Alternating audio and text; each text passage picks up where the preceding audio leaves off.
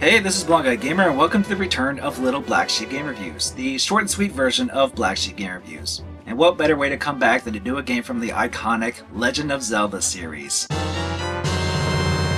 Yeah, well, even if Nintendo wasn't gonna do that, this would still probably get limited or no ads for no reason anyway.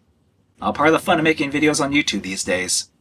What is actually fun are of course the Legend of Zelda games, from the very first entry on the Nintendo Entertainment System all the way to last year's phenomenal Breath of the Wild, a game that many are still playing and enjoying thanks to everything it has to offer, including the DLC of which the second batch came out not too long ago, giving you a freaking motorcycle as a quest reward to traverse Hyrule with. Fueled by items you put in the gas tank like a Mr. Fusion from Back to the Future, you'll always look like a badass while riding this baby around. Well, except when things like that happen. Yeah, what up, Guardians? You ain't got nothing on me now. Oh no, I'm stuck in a fountain. Hurry up and get out. Ah! And then when I tried to attack the Guardian, I got a Blood Moon in the middle of the day. This game is just full of surprises. Needless to say, I had a blast playing Breath of the Wild, even if I did get the Wii U version since I didn't get a Switch at launch. Though I did get one after Christmas for Super Mario Odyssey. This game is also really good too, by the way. I could go on about Breath of the Wild, but we can't forget all the Zelda games before it, especially what could be considered black sheep in the series. The first thing that may come to mind is Zelda 2 for its drastic changes compared to the first game, or the infamous Philips CDI Zelda games for very obvious reasons. And before you ask, I don't plan on covering the latter anytime soon. I don't have a CDI, yet, and getting legit copies of those is very pricey, so instead let's focus on a spin-off. Which the first thing of that coming to mind is likely Hyrule Warriors, a game I didn't get around to playing, though I may get the recently announced definitive version for the Switch. Instead, we're going to go over Link's Crossbow Training, a pack-in game for the Wii Zapper peripheral. Yeah, I know, out of all the Zelda games I do this one. That's just what this show is all about. Link's Crossbow Training, along with the Wii Zapper, were released in North America on November 19, 2007 from Nintendo, exactly one year after The Legend of Zelda Twilight Princess. The game is actually meant to be a means of getting accustomed to the Zapper, if the training in the title is any indication. So before we get to that game, let's quickly go over the peripheral. The Wii Zapper is essentially a casing you insert a Wiimote and nunchuck into, with the Wiimote sliding in and locking into the top, allowing the B button to be used as a trigger on the grip below it while the nunchuck sits on the rear of the zapper, securing it in place with a tab and being able to tuck away the loose wiring within this compartment and the grooves to guide it in. When it comes to using the zapper, your dominant hand goes with the grip and trigger below the Wiimote, while the other over the nunchuck grip, much like handling a Wiimote and nunchuck on their own. It is a little different from a more conventional gun design, yet as odd as it may look and feel at first, this method of playing more shooter-centric games for the Wii works surprisingly well, at least for games like Crossbow Training, but we'll talk about using it for other games afterwards.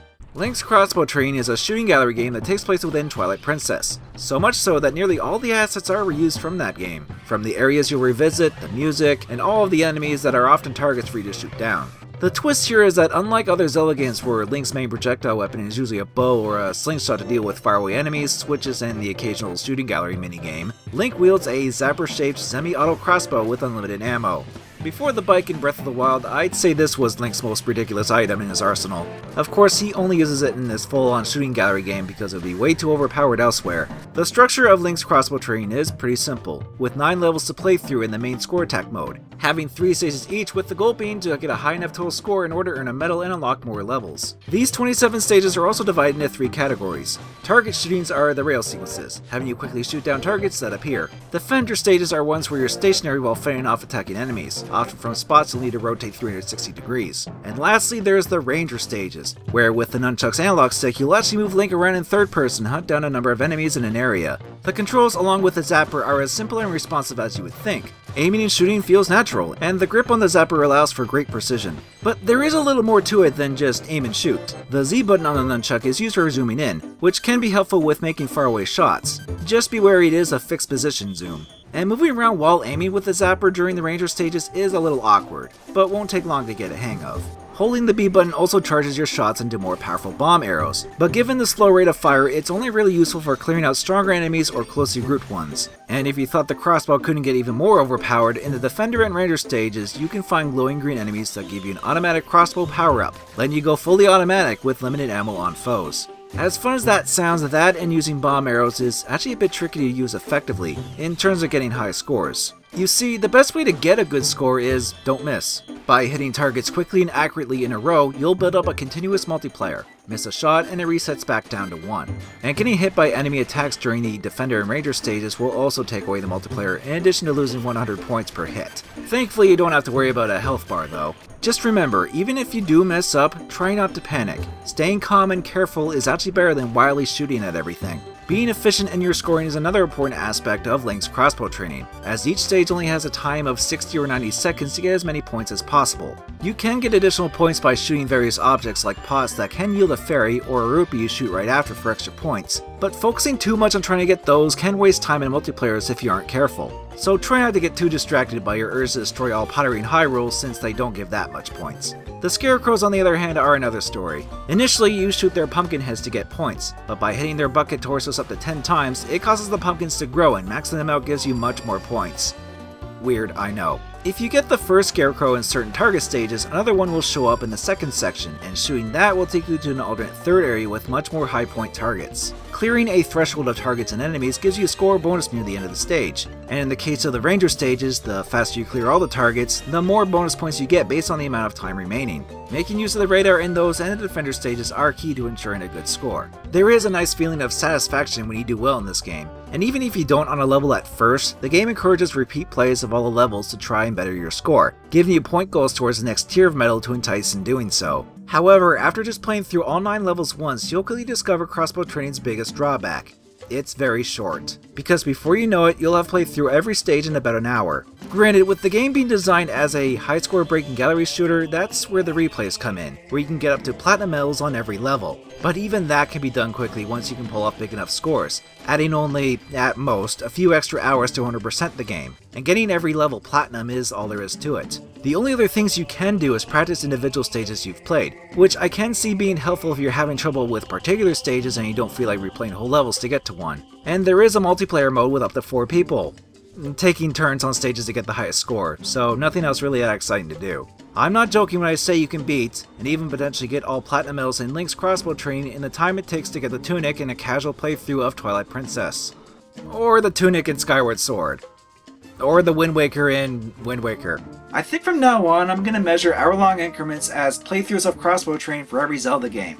Meaning that if we're going to go by this year's AGDQ 100% run of Ocarina of Time, that was about four and a half playthroughs long.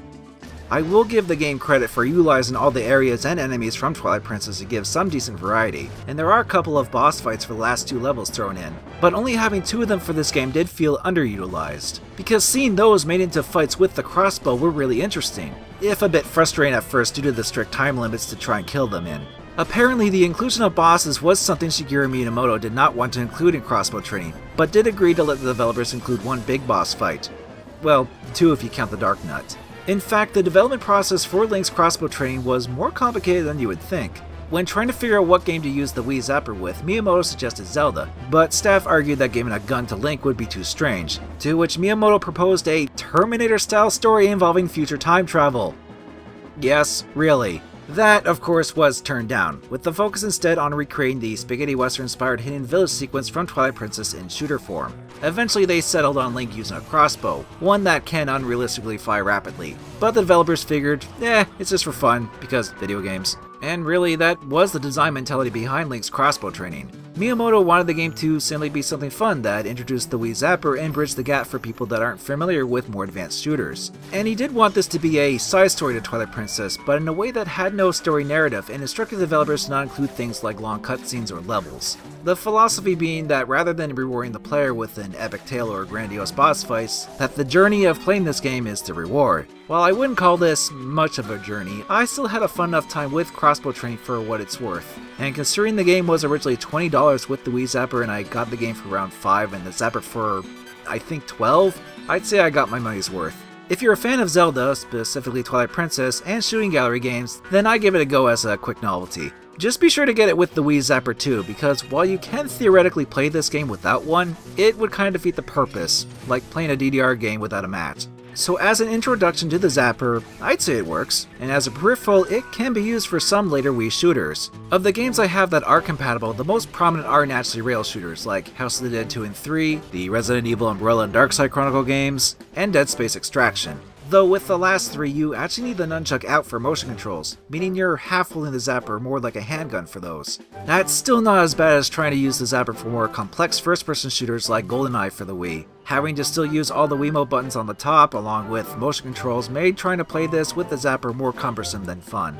Sin and Punishment Star Successor on the other hand works just fine, so it's best for games like this and Link's crossbow training. Sure, there are other third-party casings that might work better for some games, but as a Nintendo peripheral, it's cheap and gives you an excuse to play a game where you shoot a bunch of stuff as Link with a crossbow for some fast and simplistic fun. It certainly was enough to convince nearly 5 million people to buy it despite lukewarm reviews. Not bad for a spin-off that was made within a year for a plastic gun casing.